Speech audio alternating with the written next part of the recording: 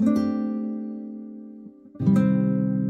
hola, espero que te encuentres muy bien. Eh, bueno, por parte del programa Badi, ¿no? De 2021-20, ah, en este video vamos a poder explicarte cómo vas a configurar tu layout, presentación o hoja de ploteo, como tú lo llames. Como verás, mm, estamos ahorita en el modelado, o no, esta es la parte donde tú dibujas, pues, ¿no? Entonces te vas acá al costado, ¿no? Dice layout 1. Si lo tienes en español o castellano, dice presentación, pues. Paso número uno que tienes que hacer para configurar tu hoja. Elimina lo que tienes dentro. Ok, lo seleccionas y suprimir. Paso número 2. Si eres estudiante pues, de la Universidad Continental en el curso de dibujo para ingeniería, tienes que tener en cuenta la nomenclatura. Y cuando hablamos de la nomenclatura, es poner nombre. ¿Ok? Ponerle nombre. Por ejemplo, acá que dice Layos 1, por ejemplo, tienes que cambiarle, ¿no? digamos vamos a hacer una plantilla. Plantilla a 4 vale ya le di una, una nomenclatura ¿ve? ya acá vamos a cambiar lo que vamos a hacer es lo siguiente no vamos a, a modificar la hoja. Ya vamos a modificar la hoja y vamos a crear una plantilla ok Paso número 2, mira, el 1 era, eh, digo, paso número 3, ¿no? El paso 1 era, pues, ¿no? Elimínalo de adentro. El 2 es ponerle tu nombre, el nombre de la hoja, como tú, tú, lo vas a guiar, tú te vas a guiar. Paso número 2, mira, 3 digo, acá en la plantilla le haces anti-clic y te vas acá, ¿no? El que esté encima de plot, ahí sí te das clic. Se te abre una pestaña, ¿vale? Entonces tú a esta misma hoja que, que ya tienes, a esa misma, pues, ¿no? Vas a poner modificar, ¿ya? te va a abrir esta pestaña. Ya, entonces acá vamos a hacer lo siguiente, donde aparece una impresora, ya en name, ahí, le deslizas y tienes que escoger el DWG a PDF, ya, esa selección, ok, acá abajo en eh, Paper Size, escoges la hoja, el tipo, ¿no? Que vas a, que vas a, pues, a realizar, ¿no? Yo estoy, ahorita voy a hacer una plantilla A4. Ya joven, señorito, señorita. Entonces por acá debemos encontrar, ¿no? ISO Full Bled el A4. Mira, hay dos, ¿ve? Hay dos. Obviamente que el primer número siempre está en eje X y el segundo en eje Y. Por ende, pues no, si tienes mayor número en el X significa que es de una forma horizontal pues yo lo quiero en horizontal. Escogeré pues ¿no? el, el, que mide 297 por el que por 210. Ok. Acá también puedes visualizar cómo se va a ver tu hoja. Ok. Y al siguiente paso pones OK. Nada más. Y pones close. Ya está. Mira, ve, ya no tenemos esas líneas entrecortadas por, por, por dentro, ¿ve? Siguiente paso. Ándate a home a casa ahí, a inicio. Y acá en layers, layers properties, ¿no? Propiedades de capas. Te vas a crear una capita, ¿ya? Te vas a crear una capa, ¿ya? Que es que diga marco, ¿no? O como tú te guíes, ¿no? Depende a como tú quieras, ¿no? Si quieres le puedes poner un poco más de grosor. Yo lo pongo un poquito, ¿no? Para que se vea bonito, nada más.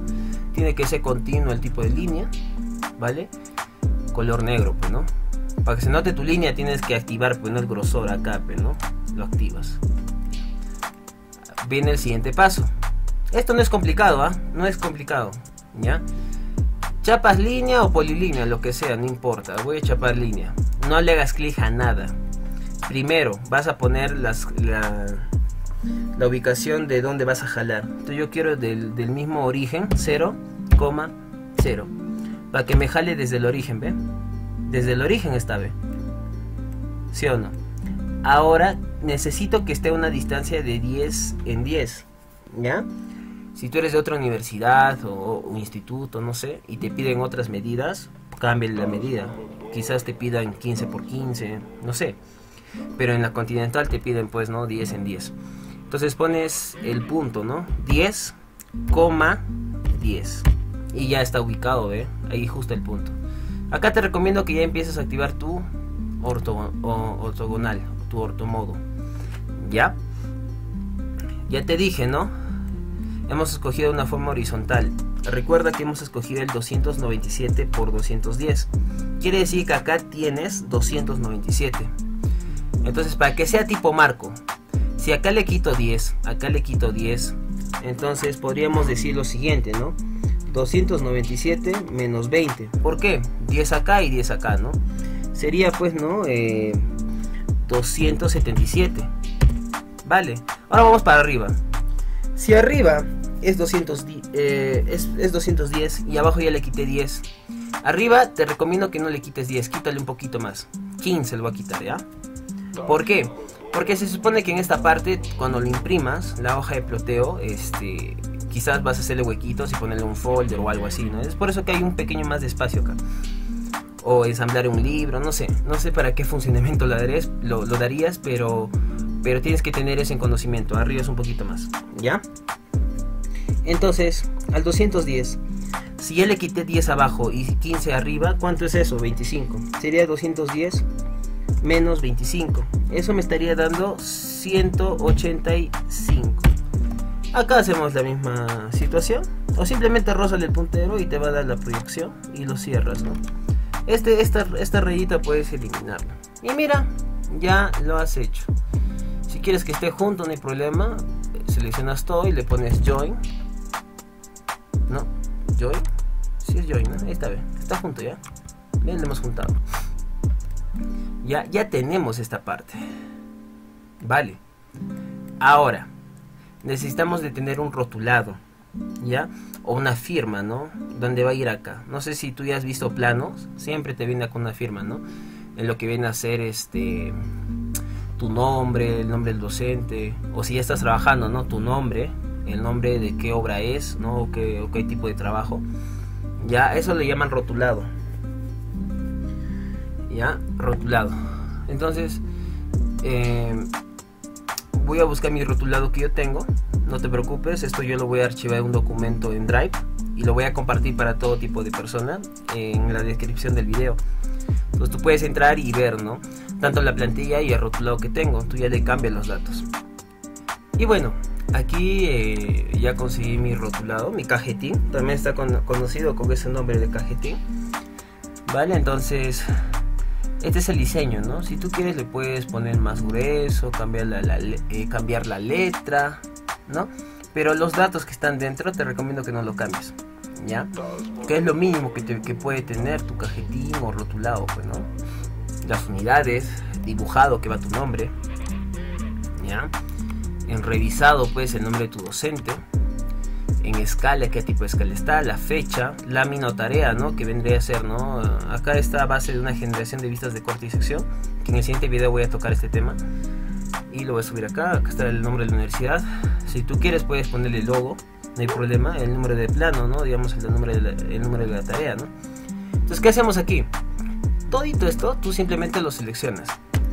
Le pones control C, te vas donde estás chambeando en tu plantilla le pones control V.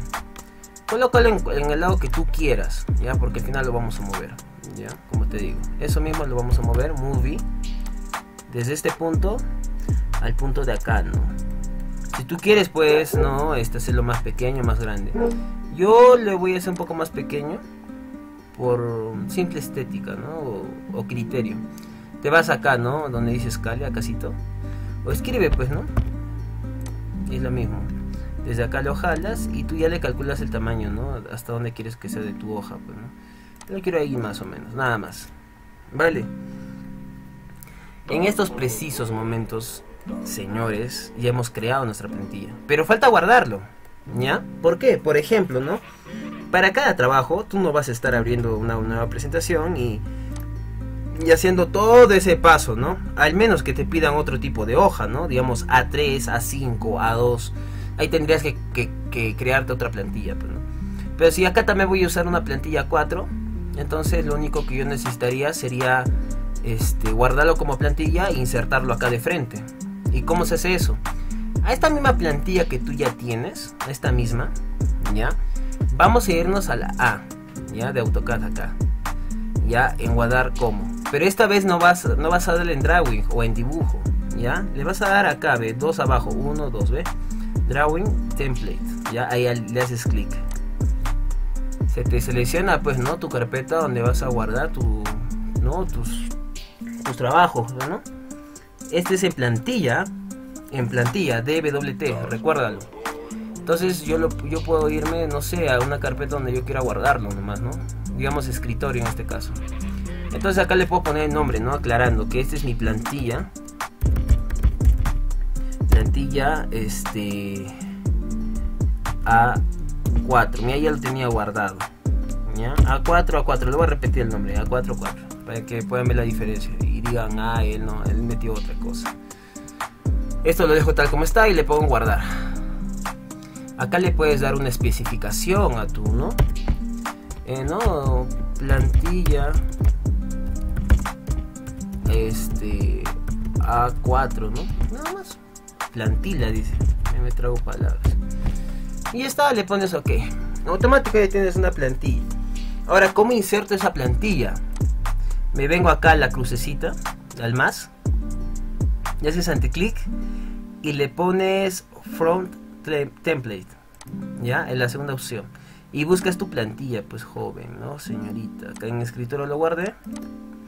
Y si no me equivoco con doble no a4 a4 es este ve le pongo abrir open no selecciona la plantilla que no que, que tengo vale y le pongo ok y mira, ya lo inserté. Ya lo inserté, ¿ve? Entonces acá, digamos, acá puedo generar mis vistas ortogonales, ¿no? Isométricas americanas.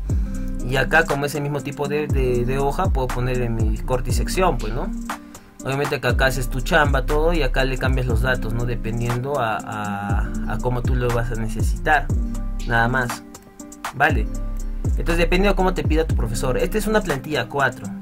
Ahora, si tú quieres, ejemplo, una plantilla A3, haces el mismo procedimiento, ¿no? Solamente que al momento que tú estés en, en, esta partecita, escogerás, pues, ¿no? El isoblet.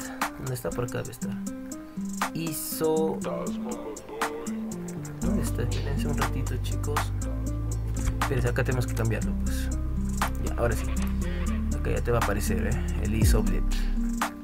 Y ahí está, ISO Full Blend A3 buscaríamos, ¿no? Y hay dos, como te digo, ¿no? Si el mayor está en el primer miembro, es que está, es horizontal, pues, ¿no? Si está en el segundo, vendría a ser vertical. Entonces yo quisiera el, el que está echado, pues, ¿no? Es este de acá. Entonces, la misma situación, ¿ve? Ya es 420 por 297. Entonces tú tendrías que recortarle, restarle, ¿no? Así como yo le hice el marco, lo mismo. Y es lo mismo, ¿ve? Lo mismo. Y lo guarda su plantilla. Pero especificando que si es A4 o A3. Bueno, eso sería todo por hoy, chicos, chicas. Entonces, eh, como les digo, en la descripción va a haber una carpeta compartida. Entonces, cualquier correo van a poder entrar y, descargarse, pues, ¿no? La, plantilla 4 que acabo de crear. Y este rotulado en, forma en formato DWT. DWG, digo. O sea, esto de acá. ¿Ya? Recuerden, dibujado va tu nombre. Revisado tu profesor. ¿Ok? Bueno, la fecha en que lo vas cuándo lo vas a hacer, ¿no? La escala, la tarea, todo eso. Tú, esto lo puedes modificar también, ¿no? Puedes, puedes, puedes hacerlo más grueso, cambiar el tipo de letra. Tú ya ves cómo lo haces. Ya la cosa es que ah, yo, te, yo te estoy dejando todas las herramientas y, y lo trabajas. Eso sería todo. Cuídense.